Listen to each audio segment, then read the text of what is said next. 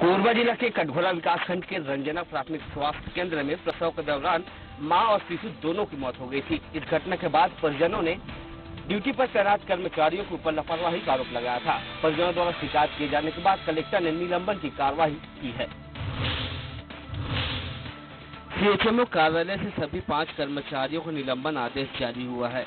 निलंबित कर्मचारियों में प्राथमिक स्वास्थ्य केंद्र रंजना के चिकित्सा अधिकारी डॉक्टर दिनेश कुमार चौहान सहायक चिकित्सा अधिकारी doctor Kamal Kishore Jaiswal, staff nurse Sheetal Nirala और दो ग्रामीण स्वास्थ्य संयोजक जितेंद्र वैष्णव और उषा कंवर शामिल हैं। प्राथमिक स्वास्थ्य केंद्र रंजना में 30 जून को इंद्रपाल चौहान, प्रसूता पत्नी लक्ष्मीबाई को प्रसव के लिए भर्ती कराया गया था। प्रसूता को जटिल समस्या होने पर भी उपस्थित स्वास्थ्य अमले ने लापरवाही बरती थी।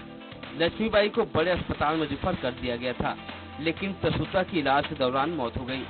परिजनों ने इलाज करने में लापरवाही करने की शिकायत कलेक्टर से की थी, जिस पर मामले की जाँच की गई। इलाज करने में लापरवाही पाए जाने पर निलंबन की कार्यवाही कलेक्टर की अनुशंसा में सीएमएचओ डॉक्टर बोडे ने की है।